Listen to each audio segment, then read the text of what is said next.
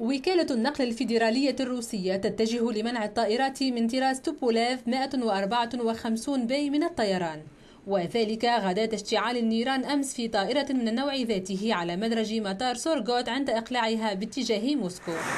طائرة توبوليف 154 B شهدت عدة حوادث خلال السنوات الأخيرة. آخرها في الخامس من كانون الأول ديسمبر الماضي حين خرجت طائرة توبوليف عن مدرجها في مطار موسكو ما أسفر عن مقتل شخصين وجرح العشرات.